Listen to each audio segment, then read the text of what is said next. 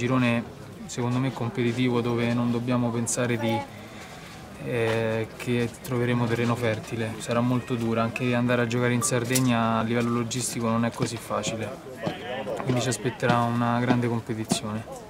Oggi sono arrivati due under, Patrignani, un 99 terzino destro dal Limolese e 98 Tribuzzi ex Latina sono qui con noi, adesso vedremo in questi giorni, penso che a breve poi con la società ufficializzeremo qualcosa, quindi stiamo proseguendo con la nostra attività quotidiana di lavoro.